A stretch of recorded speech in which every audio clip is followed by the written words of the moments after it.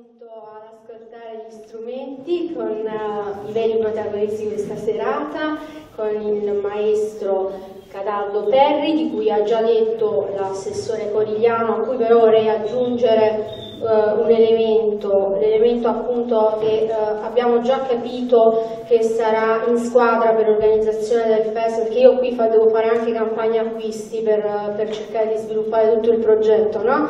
E quindi eh, Cataldo Perri mi sembra proprio un buon diciamo così, elemento nella mia squadra per il Festival della chitarra battente, visto che ne ha ideato uno come vice sindaco a Corigliano, un festival Tagliati, scusa. Pardon, scusate, so anche dov'è. È arruolato, è arruolato e così mi darà informazioni e via dicendo perché appunto eh, ha ideato questo festival itinerante della chitarra battente quindi eh, mi dispiace Canaldo ma sei già dentro. Bene, eh, sentiremo appunto eh, Canaldo Perri e poi il maestro eh, Francesco D'Andrea, eh, violinista docente del Conservatorio di Cosenza con il suo allievo Alessandro Acri. Dopodiché ci dirigeremo verso questo, questo brindisi. Uh, vi ringrazio tutti per l'attenzione e mi raccomando partecipate attivi perché non vi molliamo, anzi posso dirlo non vi mollo. Grazie mille ancora.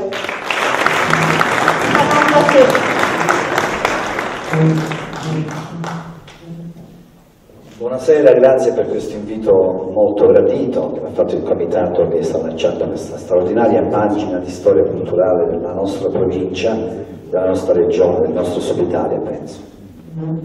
Io darò il mio modesto contributo con la parola e con la musica. Con la parola, prima con, eh, leggendo due pagine del mio libro Oi Dottor, in cui in questo libro racconto, fra le altre cose, fra, oltre alla mia esperienza di medico di famiglia, quindi con tutti molti aneddoti di cultura popolare, ma racconto anche in due pagine di questo mio libro l'incontro con il divino maestro eh, notaio del Bones di Bisignano e poi passerò alla, alla chitarra battente.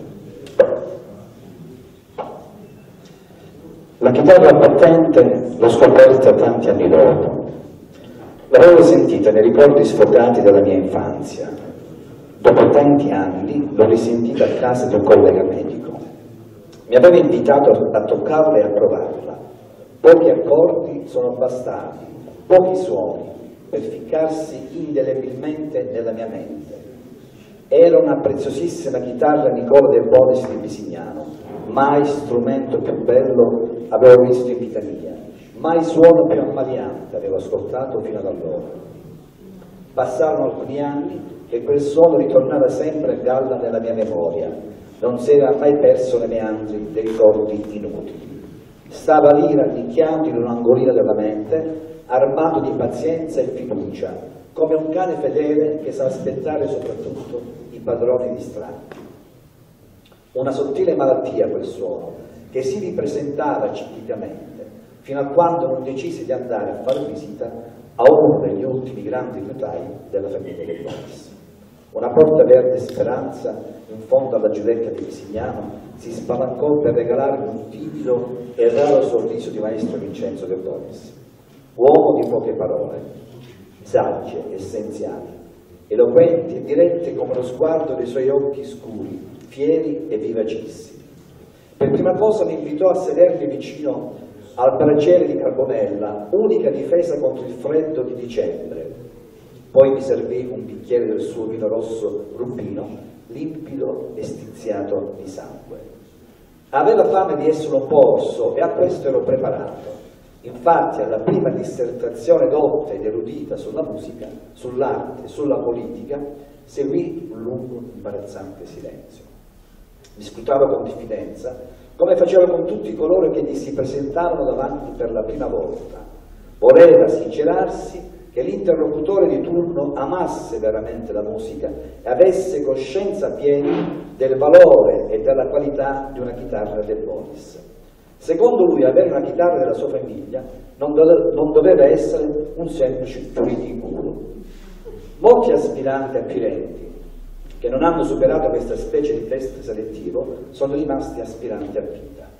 Ogni sua parola aveva il prisma della sincerità e della preziosità, saggezza e dignità nei suoi gesti e la coscienza di essere depositario di un sapere antico, di assoluta eccellenza e bellezza. Lui e i suoi antenati hanno puntato tutta la vita investendo sui sogni, sul bello, sull'arte, in una terra così povera, matrigna, distratta e poco propensa ai voli dell'anima come la nostra. Eroi del bello, pensavo mentre osservavo i ritratti degli antenati di Boris e ascoltava le ultime battute della rara dissertazione di maestro Vincenzo sulla musica. Mo da noi va di modo jazz, ma non l'hanno capito che il jazz della Calabria è grande. La chitarra è una cosa seria. La scelta del legno, la stagionatura, le colle, perfino la scelta in accordo è una cosa importante. Perché uno con una corda si può pure beccare.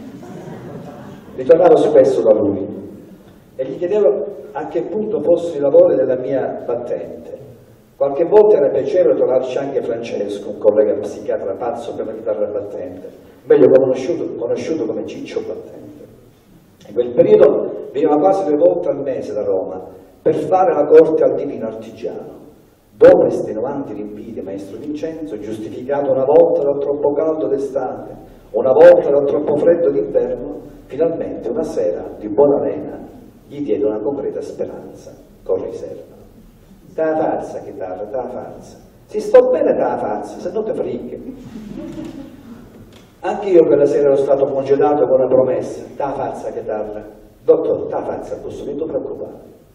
Questa semplice, eh, questa duplice sentenza positiva riuscì ad accendere anche gli occhi chiarissimi di Rosalba, che faceva apprendistato di liuteria presso il padre Costantino e di geniaccio di zio Vincenzo Fece il segno della vittoria, scuotendo riccioli nerissime sul viso scuro e ben disegnato, illuminato da uno smagliante solare sorriso di condivisione. Dopo una lunga attesa di due anni, finalmente ebbi la mia prima chitarra battente.